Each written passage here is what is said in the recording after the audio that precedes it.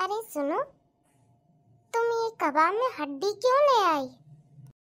दादाजी, मुझे सब कुछ सुनाई दे रहा है, कबाब में हड्डी। वो भी मुझे? आप दोनों को शर्म नहीं आती मुझे कबाब में हड्डी बोलते हुए?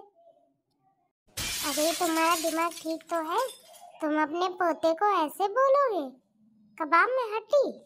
कहाँ से लगता है वो तुम्हें कबाब में हड्डी? दादी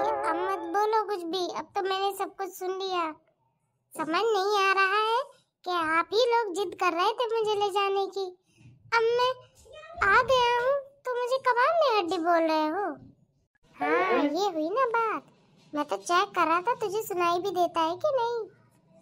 मतलब मैं समझा नहीं, दादाजी। हाँ अब क्या समझ में आएगा तुझे? अब तो तुझे कुछ सुनाई भी नहीं देगा। मुझे तो पता ही था कि तू सुबह झूठ बोल रहा था। अरे दादाजी वो पता है क्या? मुझे कुछ कभी कभी सुनाई नहीं देता। पता नहीं क्यों ऐसे लगता है जैसे कोई अचानक से आवाज़ लगाता है। अचानक से सब कुछ सही हो जाता है और अचानक से सब कुछ आ, सुनाई भी नहीं देता। अरे मैं कौन सा तुझे कुछ कह रहा हूँ? मैं तो तेरी दादी को बता रहा हूँ और समझा रहा हूँ कि मुझे पालतू मिनट डाटा क्या था? मुझे तो कुछ समझ नहीं आ रही तुम दोनों की बातें। अपने आप अकेले अकेले बातें कर रहे हो। मुझे भी तो बताओ, मुझे भी तो पता चलना चाहिए ना, कि आखिर हुआ क्या है? अरे, जब मैं तुम्हें आवाज़ लगा रहा था ना तो मैंने छोटू को ज़ोर ज़ोर से आवाज़ लगाई। तुमने तो सुना नहीं, मैंने सोचा इसी को काम बता देता हूँ।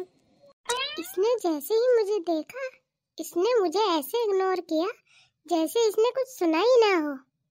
मैंने जब इससे पूछा कि तूने मेरी बात सुनी कि नहीं तो इसने बोला, दादाजी, मैंने कुछ नहीं सुना, मुझे कुछ सुना ही नहीं दिया, आपने क्या बोला? दादी, दादाजी झूठ बोले, मैंने ऐसा कुछ नहीं करा। घर चल, फिर बताती हूँ तुझे। यही सिखाया है तुझे मैंने, झूठ बोलना। अभी तेरी शिकायत तेरे मम्मी पापा से लगाती हूँ, तभी ठीक होगा तू।